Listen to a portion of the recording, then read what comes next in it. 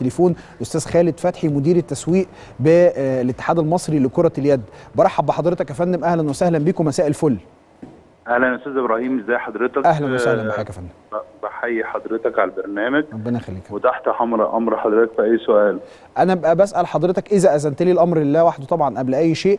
أه بسأل حضرتك في الجزئية المتعلقة بالإلغاء النهارده إلغاء بطولة الدوري. الحيثيات كانت إيه وإلى ما ارتكنت إليه الأندية مع الاتحاد؟ ما سمعته حضرتك أكد لي أو انفي لي ده إنه تم استطلاع أه وجهة النظر الفنية للمدير الفني لمنتخب مصر لكرة اليد والمقبل على بطولة كأس العالم. والراجل كان شايف إنه استئناف البطولة ديت هيبقى ماتشات قوية جدا. ممكن يحصل إصابات عضلية إصابات في الأوتار وبالتالي يعود عليه بالسلب فيما هو قادم من فترة اعداد وهو داخل على بطولة العالم لليد وأما وانه هذا كمان يلاقي رغبة الأغلبية في الأندية فكان القرار. هذا ما ورد إلي من معلومات.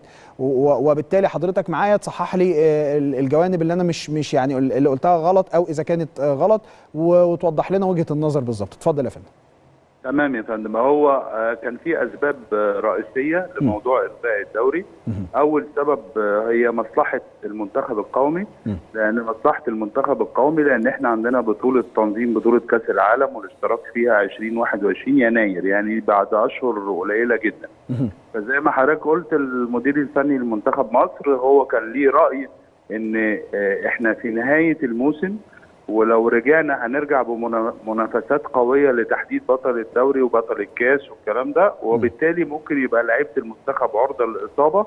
فبالتالي من الأفضل إن يبتدوا بعد ما يعملوا فترة الإعداد يبتدوا في منافسات تدريجية. ده كان كان كان السبب الأول اللي هو مصلحة المنتخب القومي. السبب برضو الثاني المهم جدا كان عمليات القيد.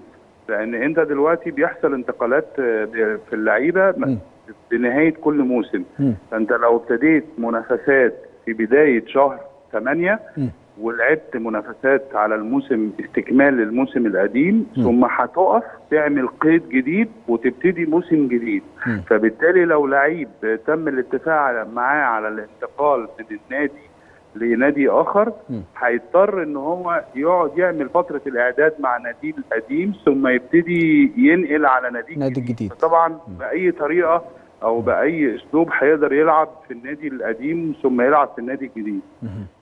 النمرة ثلاثة كعامل أساسي كان طبعا ال ال ال ال ال الاجتماع اللي حصل النهارده اللي فيه الأندية وتصويتها ورغبة الأندية الدنيا تمشي إزاي.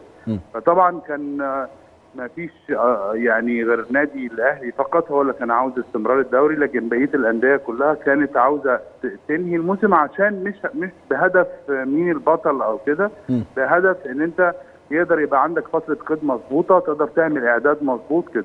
طبعا العامل الرابع اللي هو إن طبعا إحنا ما زلنا في حاجة يعني نقدر نقولها يعني الموضوع الكورونا غير محدد. يعني هو ما هواش خلاص تم السيطرة عليه وتم الانتهاء منه. انت uncertainty uncertain يعني الموضوع uncertain لغاية دلوقتي ومش محدد. وبالتالي اللي ممكن لما تبتدي مثلا في التمرينات وال يحصل تداعيات أو كده. فبالتالي التمهل في بداية الموسم وبدايته صح بقيد صح وعدم وجود إصابات هو ده القرار اللي فيه حكمة والاصوب للوصول إليه طالما كمان رغبه رغبات الأندية ورغبات المدير الفني ومصلحة المنتخب